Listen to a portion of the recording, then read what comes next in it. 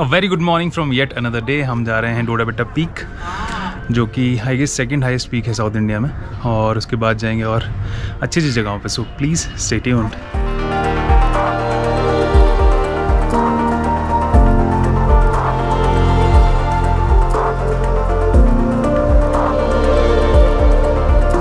तो हम पीक की तरफ़ वॉक करते हुए जा रहे हैं। आपको रास्ते में बहुत सारे ऐसे छोटे छोटे स्टॉल्स दिखेंगे खाने पीने के, कपड़ों के, ज्वेलरी के। अगर आपको शॉपिंग करनी है, आप कर सकते हो।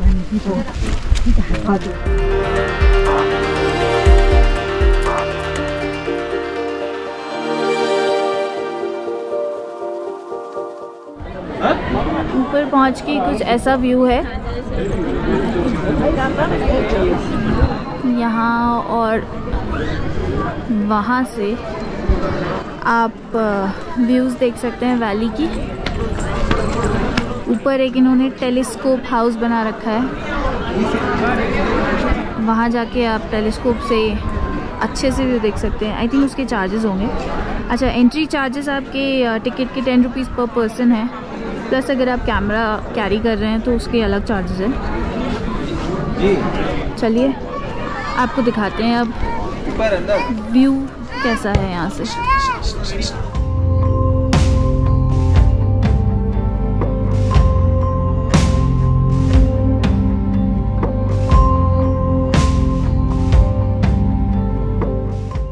दोडापेट्टा तमिलनाडु की सबसे ऊँची पीक है और ये लगभग 10 किलोमीटर दूर है ऊटी बस स्टैंड से। दोडापेट्टा नाम का अर्थ होता है बड़ा पहाड़। और इस पीक का अल्टीट्यूड है अराउंड 8600 फीट ये जगह ईस्टर्न घाट्स और वेस्टर्न घाट्स का मीटिंग पॉइंट है। यहाँ से आपको ब्रेथ टेकिंग नीलगिरी हिल्स दिखाई देंगे और ये जगह डेंस शोला फॉरेस्ट से सराउंडेड है। यहाँ पीक पे आपको अगर कुछ खाना पीना है तो यहाँ पे आप खा पी भी सकते हो। आज वीकेंड है, बहुत ही ज़्यादा भीड़ है। ट्राई करें, आप वीकेंड्स अवॉइड करो।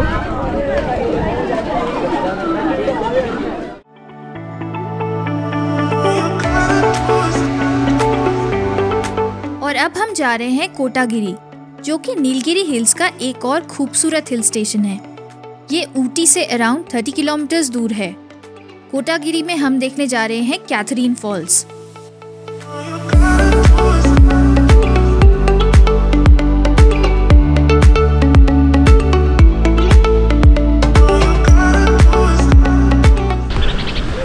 तो हम लोग आ गए हैं कोटागिरी के कैथरीन फॉल्स पे। गाड़ी पार्क कर दी है और थोड़ा वॉक है वॉक करके जा रहे हैं टुवर्ड्स फॉल तो दिखाते हैं आपको। स्टे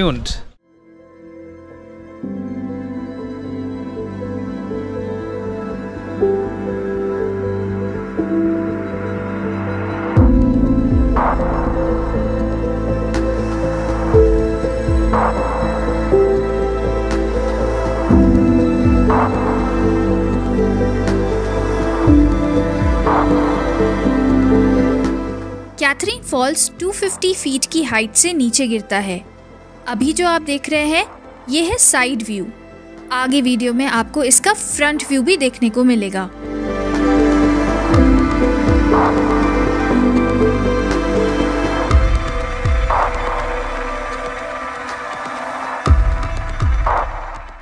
अगर आप डेली लाइफ के बोर्डम को तोड़ना चाहते हैं तो यहाँ ज़रूर आइएगा।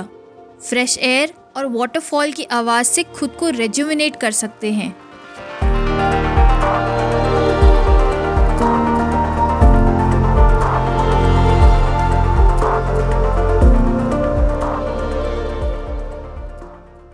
वाटरफॉल पे रिफ्रेशिंग टाइम बिताने और टी गार्डन्स के नज़ारे लेने के बाद, अब हम जा रहे हैं कुन्नूर कुन्नूर जाते समय हमें रास्ते में साइटिंग हुई एक इंडियन गौर की। मज़ा ही आ गया।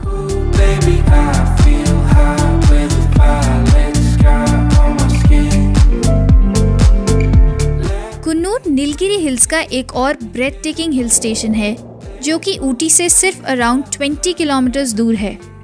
Coonoor tea gardens and tea factories के लिए बहुत फ़ेमस है। यहाँ पे आपको लश ग्रीन नीलगिरी हिल्स और सुंदर वैलीज का पेनोरामिक व्यू मिलेगा। और अगर आप थोड़ा सेक्लूडेड स्टे करना चाहते हैं तो कुनूर एक बहुत अच्छा ऑप्शन है नियर ऊटी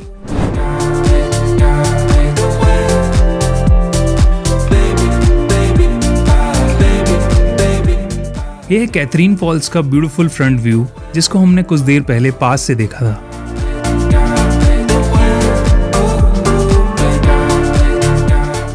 वापस ऊटी जाते समय बीच में हमने एक स्टोर पे एक्सपीरियंस किया कि कैसे यूकिलिप्टिस ऑयल और चॉकलेट बनती है। सुने सर अभी आप लोग आने के रास्ता में देखे आ रहे हैं नीलगिरी का पेड़ लंबा लंबा पेड़ देखे आ रहे हैं ना? उस एक ही पेड़ में से तीन पर्पस का तेल बना सकते हैं थ्री टाइप का ऑयल थ्री टाइप का ऑयल मतलब ये पत्ता नीलगिरी पेड़ का फ्रेश लीफ है बेबी लीफ स्मॉल प्लांट इसमें फ़र्स्ट क्वालिटी का तेल बनाते हैं इसका नाम बोलते हैं हीना ऑयल हीना oil one seed headache migraine dry coughs asthma sinus problem chest cold को यूज़ कर सकते हैं नॉर्मल हेडेक के ऊपर माइग्रेन का पेन टेन परसेंटेज ज़्यादा रहेगा ना। ये तेल लगाने से पाँच मिनट में कंट्रोल हो जाएगा। ये ओनली बेबी प्लांट है। ये फॉरेस्ट में प्लांट किया तो झाड़ इतना बड़ा झाड़ हो जाएगा। ये तो रास्ता में हम लोग सब देखा है। ये झाड़ से लीफ तो हार्ड लीफ और लेंथी लीफ हो जाएगा ऐसा लीफ हो जाएगा। Hard leaf and lengthy leaf dry होने के बाद नीचे गिरेगा ना वेस्टेज पत्ता है, ऐसा पत्ता इस पे निकाल कर तेल बनाते हैं इसका नाम नीलगिरी तेल। नीलगिरी तेल का proper name English name eucalyptus oil eucalyptus oil Nilgiri district में ज़्यादा बनते हैं इंट्रोड्यूसिंग नीलगिरी डिस्ट्रिक्ट है। इसलिए इसको नीलगिरी तेल नीलगिरी तेल जगह का नाम बन गया। ये सर्दी के लिए काशी बुखार सिर दर्द बॉडी टेट जुकाम मेहंदी लगाने में काम आएगा। नॉर्मल बॉडी टायर्डनेस होता है ना नहाने के पानी में दो तीन ड्रॉप डाल के नहाना तो बॉडी टायर्डनेस मसाज हो जाएगा। ज़्यादा ठंडा लग जाएगा तो गर्म पानी में इसका स्टीम ले सकते हैं। ऐसे हो जाएगा, अंदर इसका बीन्स है, ऐसा बीन्स रहेगा। दिस इज़ कोको बीन्स है। कोको बीन्स को रोस्ट करना पड़ेगा। रोस्ट किया तो ऊपर का स्किन रिमूव हो जाएगा। ऊपर का स्किन रिमूव हो जाएगा तो अंदर बीन्स रहेगा। ये बीन्स को ऐसा कोको ढाक से बनाना कोको पाउडर कोको पाउडर तो चॉकलेट बना सकते हैं। और दूध में डालकर पी सकते हैं बूस्ट बोनविटा में डालकर पी सकते हैं और केक बना सकते हैं स्वीट्स बना सकते हैं आइसक्रीम में भी डाल सकते हैं। ये बहुत काम में होता है। चॉकलेट बनाने के लिए बॉयलर में डालने के पहले पहले butter sugar milk Milkmaid 40 percentage डालने का कोको पाउडर 60 परसेंटेज डालकर और one twenty two to forty five degree Fahrenheit को इसको मल्ट करना पड़ेगा। हीट मतलब जो इनडायरेक्ट हीट देने का ये मशीन में भट्टी नहीं रख सकते इसमें आपको इनडायरेक्ट स्टीम हीट देना पड़ेगा। स्टीम हीट देने में लिक्विड मल्ट हो जाएगा मल्ट होके पेस्ट हो जाएगा। पेस्ट वो ट्रे में डालने के पहले नट्स मिलाना पड़ेगा कैशियो आलमंड पिस्ता फ्रूट नट ड्राई स्किप सी बटर स्कॉच ऐसे डिफरेंट डिफरेंट फ्लेवर ऐड करना। हट करके आधा घंटा रूम का टेम्परेचर वो कंपलसरी ज़रूर रूम का टेम्परेचर चाहिए। मतलब अपना गाँव में भी चाय अगर चॉकलेट बना सकते हैं, वो लिक्विड हो जाएगा तो वो टेम्पर नहीं होएगा उधर से। टेम्पर टेम्परेचर जास्ती रहते हैं ना उधर। उधर से टेम्पर नहीं होते। इधर रूम टेम्परेचर में रखने में वो ठंडा हो जाएगा टेम्पर हो जाएगा, उसके बाद सेफ़ कट कर सेल्स कर जाते हैं। ये आइटम भी आपको सैंपल्स में मिलेगा टेस्ट करने के लिए। और आगे देखिए कुछ ऐसा जो आपको बहुत सुकून देगा।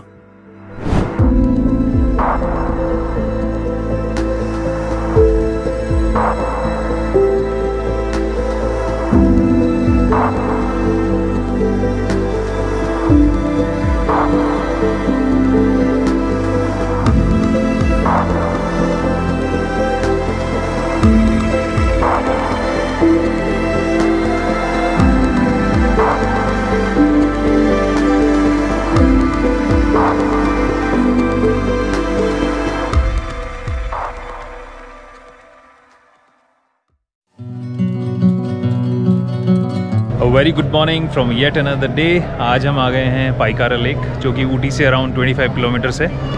और हम, आज हमारा आखिरी दिन है ऊटी में, और इसके बाद हम बैंगलोर निकल जाएँगे। तो ये लास्ट डेस्टिनेशन है। हम जा रहे हैं बोट राइड लेने, दिखाते हैं आप सो स्टेट्यूड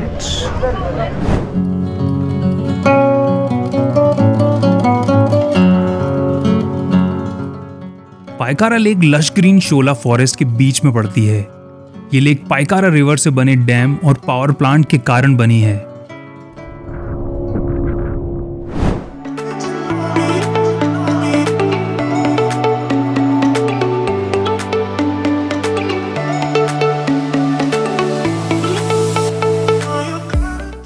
इस बोट राइड की टिकट प्राइस है वन थाउज़ेंड रुपीज़ इसमें मैक्सिमम आठ लोग ही बैठ सकते हैं।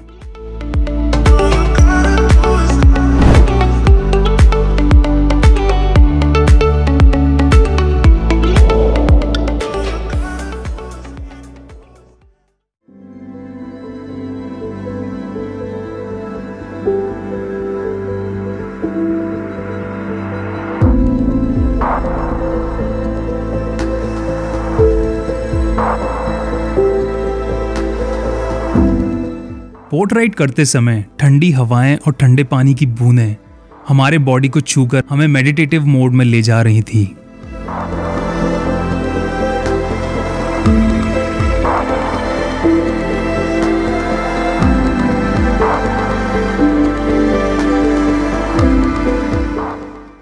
ये बोट राइड का एक्सपीरियंस बहुत ही रिफ्रेशिंग और दिल को खुश कर देने वाला था। और यहाँ पे खत्म होती है हमारी बोट राइड